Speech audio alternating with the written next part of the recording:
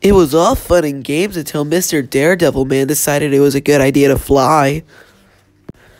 Long story short, we had Garen's Steer.